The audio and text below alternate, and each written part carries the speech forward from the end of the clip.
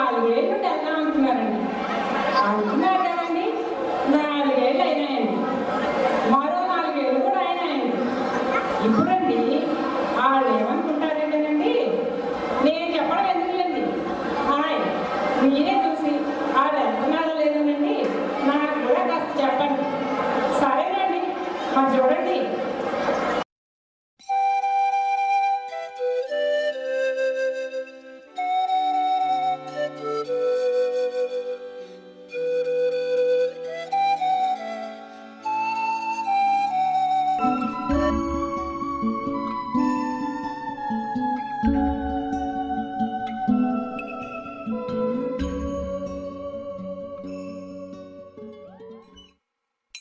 మహేష్ ఉగాది పచ్చడి చేశాను తీసుకో.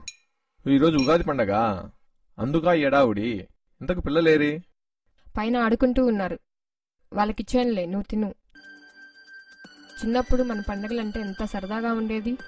సంక్రాంతి దసరా దీపావళి ఇప్పుడేవన్నీ ఎప్పటి సరదా అప్పటిదే సుధా.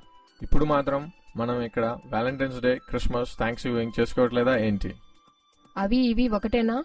సుధా ఈ పండగలు సెలబ్రేషన్స్ అన్నీ మన రొటీన్ లైఫ్ నుంచి చేంజ్ కోసమే. Be a roman when you are in Rome అన్నారు కదా? అన్నారు అన్నారు రేపటి నుంచి డిన్నర్కి పిజ్జాలు బర్గర్లు పెడితే తెలుస్తుంది మన రోమన్ సంగతి. బాబోయ్ అలా వద్దులే మనం ఇండియన్స్ లాగే ఉందాం. అయినా మనం కూడా అన్ని పండగలు చేసుకుంటానే ఉన్నాం కదా? సరే కానీ నీ జాబ్ రోల్స్ ఎంతవరకు వచ్చాయి? ఎక్కడికి కదలట్లా అప్లై చేయడమే కానీ ఇంటర్వ్యూస్ మాత్రం నేల్. ఇప్పటికి నా జాబ్ పోయి ఎనిమిది నెలలైంది. వస్తుందిలే. అంత తొందర ఏంటి ఏమొస్తుందో? మీ ఆఫీస్లో కూడా లే ఆఫ్స్ అవుతున్నాయట కదా? ఫ్యూచర్ గురించి ఆలోచిస్తే భయంగా ఉంది. ఎందుకు అంత టెన్షన్ పడతావు? నీకు అన్నీ ఈజీగానే ఉంటాయి. జాబ్ ఉన్నప్పుడు ఒక టెన్షన్ లేనప్పుడు ఒక టెన్షన్. అదేంటి? జాబ్ ఉన్నప్పుడు టెన్షన్ ఏంటి? పిల్లలు బాబు వాళ్ళని క్లాసులకు తిప్పడం హోంవర్క్లు కుమాన్లు స్కూల్కి రెడీ చేయడాలు. వాళ్ళు తుమ్మినా భయమే దగ్గినా భయమే. వాళ్ళకి ఒంట్లో బాగాలేదని కాదు ఎక్కడ సెలవు పెట్టాల్సి వస్తుందోనని ఒక్కోసారి ఎంతో గిల్టీగా అనిపిస్తుంది తెలుసా?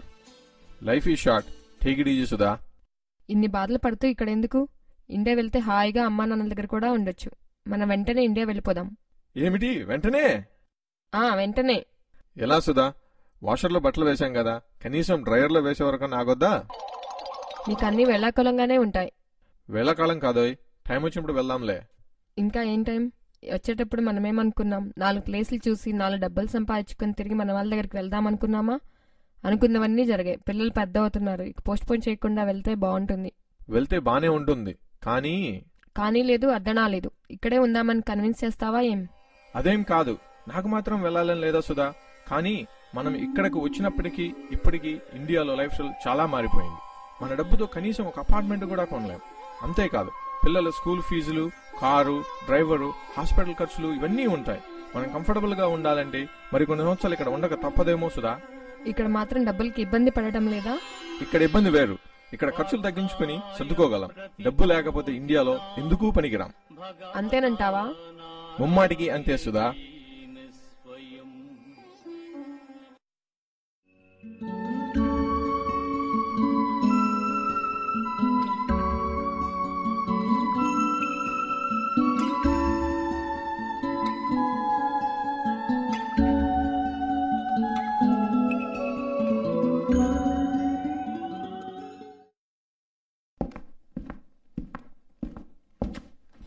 రమా కొంచెం కాఫీ పెడతావా?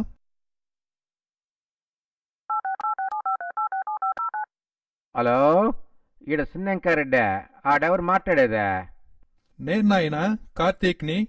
అభయ నువ్వా? చాలా రోజులైందే ఫోన్ చేస్తే బాగుండా?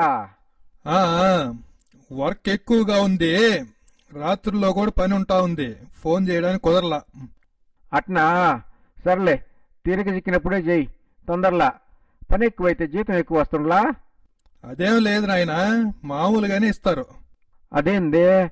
మన పిచ్చిరెడ్డి బావమరిదికా ఎక్కువ ఇస్తున్నారంటనే. నువ్వు కాస్త ఫోన్ చేసి మందలు కనుక్కో. ఆ, ఆ, కనుక్కుంటాలే నాయనా. ఆడందరూ బాగున్నారా? ఏం బాగులే ఇంత కాబయా? ఇప్పుడు ఆ టైం ఎంత? సాయంత్రం ఏడు బావు అయింది నాయనా. అట్నా? సరే మన ఊరు బయట శివాలయం పక్కన ఐదు ఎకరాల మాగాడు లేదా? అది అమ్మకానికి వచ్చింది. పోయి మాట్లాడేదా? ఇప్పుడే కదా నాయనా కొత్త ఉద్యోగానికి మారింది.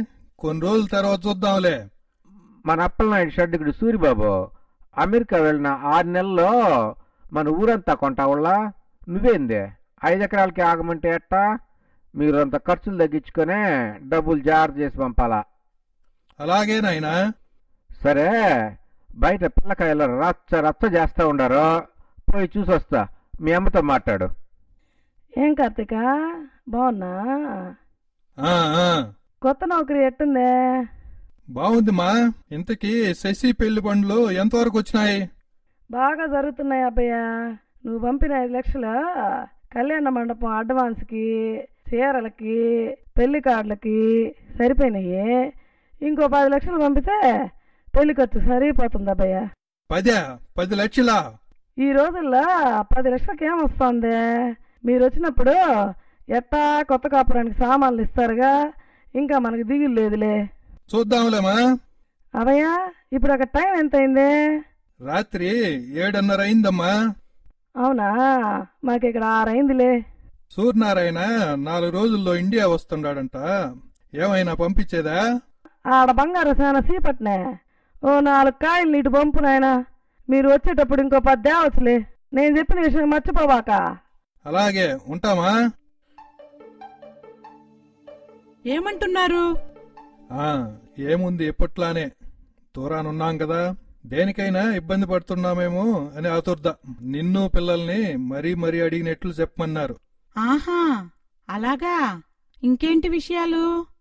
ఆ విషయాలంటే అదే మన శశి పెళ్ళి కదా కొంచెం డబ్బు సర్దమన్నారు. మొన్నేగా ఐదు లక్షలు పంపాం ఇంకా కావాలట్నా? అవేం చాలుతాయిరమ్మా కళ్యాణ మండపానికి వాటికి వీటికే సరిపోయినాయంట. పెళ్ళి ఖర్చే ఐదు లక్షలు అయ్యేట్లుందంట. పరిస్థితిని బట్టి ఖర్చు తగ్గించుకుంటే బాగుంటుందేమో. అన్నయ్య పది లక్షలు పంపుతున్నాడంట మనం కూడా ఓ పది లక్షలు పది లక్షలా? అవునరమ్మా చిన్నప్పటి నుంచి మమ్మల్ని మా అమ్మ నాన్న కష్టపడి పెంచినారు. ఇప్పుడు సాయం చేయకపోతే వాళ్ళు చాలా ఫీల్ అవుతారు కదా. డబ్బులు అడిగిన ప్రతిసారి అలాగే అంటారు. ఇప్పుడు పది లక్షలు ఎక్కడి నుండి తెద్దాం? క్రెడిట్ కార్డు మీద లోన్ తీసుకుందాం. లోనా? పోయిన సంవత్సరం మీ అక్క కూతురు ఓనీల పండగని రెండు లక్షలు పంపాం. ఆరు నెలల క్రితం మీ అన్నయ్య కొడుకు ఇంజనీరింగ్ సీటుని ఓ లక్ష. ఇప్పుడు ఈ పెళ్ళి ఇలా అయితే ఎలా? మా వాళ్ళకైనా పంపించింది. మీ తమ్ముడు బిజినెస్ కని నాలుగు లక్షలు పంపింది మర్చిపోయినావా? ఎంతసేపు మా వాళ్ళకి ఎంత పంపానా అని చూస్తావు గాని ఇవి మర్చిపోతే ఎట్లా? నేనేం మర్చిపోలేదు. వాళ్ళకి వీళ్ళకి అని అయిన దానికి కాని దానికి పంపుతూ ఉంటే మనకి పిల్లలున్నారుగా? ఎన్నాళ్ళు ఇలా ప్రతిసారి ఏదో ఒక వంకతో డబ్బు మొనడం మనం ఇక్కడ పోట్లాడుకోవడం. ఏదో ఒక రోజు మనం బాగా సంపాదించుకొని ఇండియా వెళ్ళి దర్జాగా బతకాలనుకునేవాడిని కానీ మన వాళ్ళ వాలకం చూస్తుంటే మనల్ని సుఖంగా బతకనిచ్చేట్లేరండి. ఇక్కడుంటేనే ఇలా ఉంది.